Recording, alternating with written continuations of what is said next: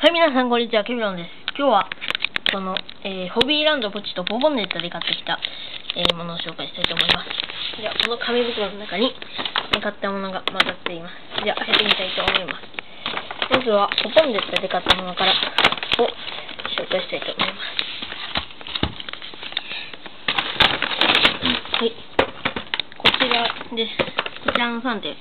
まずは1つ目なんですが、木造駅舎セット。トミックスでやっているローカル線の木造駅舎セットですね。あとは、バラスト、シナリーバラスト、ザイトグレーと、シナリーバラストグレーです。こちら、両方新品です。3つとも。で、僕が買った、ホビーランドこちら買った、中古品です。こちらは。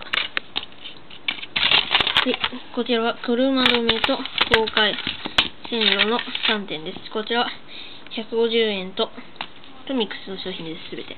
と、100円と、100円と、このうちできたら100円です。ということで今日はとても短かったですが、この開封動画、開封動画じゃないね、紹介動画をやりました。